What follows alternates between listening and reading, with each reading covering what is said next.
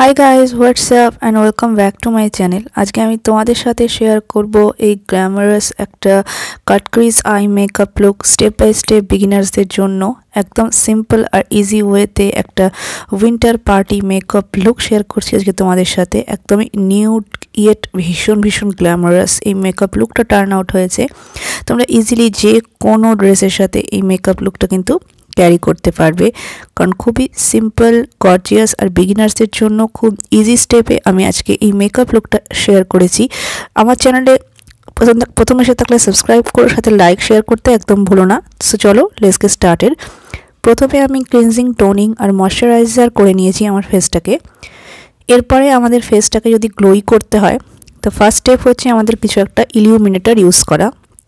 আমি এখানে মেবলিনের জিজি হারিড কালেকশন থেকে এই ইলিউমিনেটারটা ইউজ করছি। তোমাদের কাছে যে কোনো লিকুইড ইলিউমিনেটার থাকলে সেটা তোমরা ইউজ করে নিতে পারো। সো এটা ভীষণই দেখতেই পাচ্ছ, খুবই বেশি গ্লিটারি গ্ল্যাম একটা মেকআপ লুক একটা মেকআপ বেস ক্রিয়েট করে দেয়।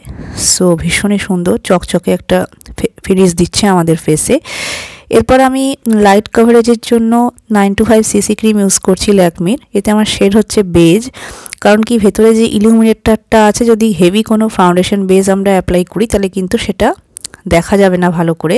সো এই জন্যই আমি লাইট কভারেজের সিসি ক্রিম ইউজ করেছি। তোমরা এই জায়গায় বিবি ক্রিমও ইউজ করতে পারো। সেটাতেও কিন্তু কোনো প্রবলেম নেই।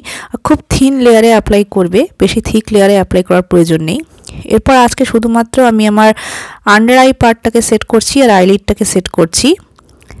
নেক্সট আমি আমার আইব্রাউর গ্যাপগুলোকে ফিল আপ করে নিচ্ছি। এক্ষেত্রে আমি মিনাওয়ের আইব্রাউ পেন্সিল ইউজ করেছি।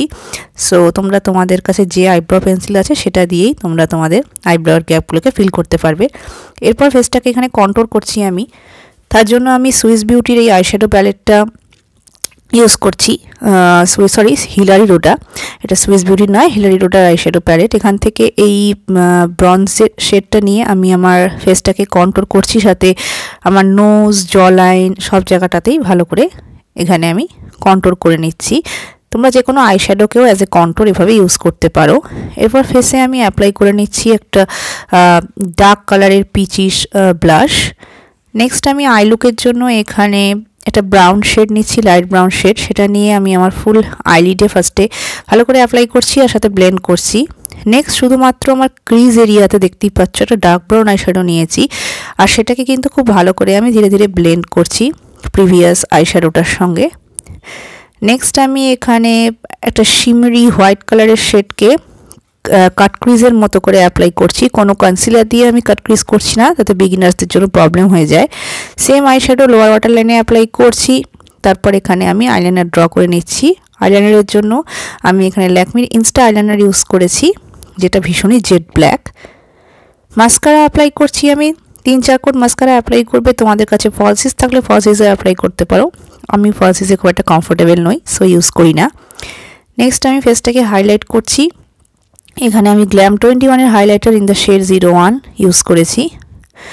লিপস্টিকের জন্য আমি এখানে আজকে অ্যাপ্লাই করছি নাইকার ক্রিমি ম্যাট রেঞ্জের থেকে লেটেস্ট স্নোজ এটা এই আই লুকটার জন্য একেবারে পারফেক্ট একটা লিপস্টিক সো গাইজ এটা হচ্ছে আমার ফাইনাল ফিনিশ লুক দেখতেই পাচ্ছ কতটা গ্ল্যামারাস টার্ন আউট হয়েছে এবং নিউড আর ওয়ারেবল একটা লুক কোনো কালারফুল লুক না। সো তোমরা কিন্তু যে কেউ এই লুকটা ক্রিয়েট করতে পারবে মানে যারা থার্টি প্লাস ফর্টি প্লাস যে কেউ কিন্তু এই মেকআপ লুকটা ক্রিয়েট করতে পারবে, তাতে কোনো অসুবিধে নেই। আর খুবই গ্ল্যামারাস টার্ন টার্ন আউট হয়েছে।